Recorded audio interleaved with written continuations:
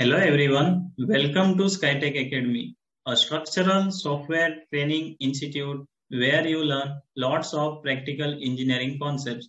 Today we are going to learn about how to cut a section at particular Z ordinate in ETABS software.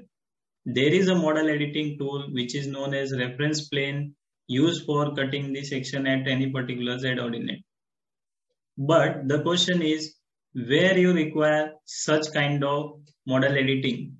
Okay. So the situations where you want to model a mezzanine floor or where you want to model anything between the floors or midway between the floors. How can we model those kind of things? Like I want to model a mezzanine floor in between my ground floor and first floor. That means in between 3 meter and 6 meter.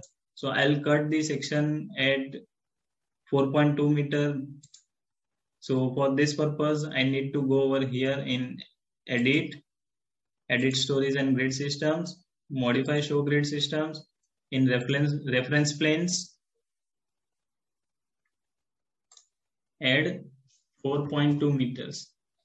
Z ordinate as 4.2 meter. This will cut the section at Z ordinate of 4.2 meter. You can see over here in 4.2 meter, a reference plane is added.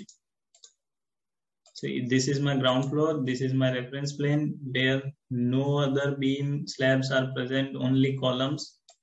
This is my first floor. So this way I have modeled a reference plane where I can model all the geometry. So that's all from our side for today's session. If you liked our video, please like, comment and share with your friends. Also, Subscribe to our YouTube channel for more such kind of practical engineering conceptual videos. Thank you for watching our video. Thank you.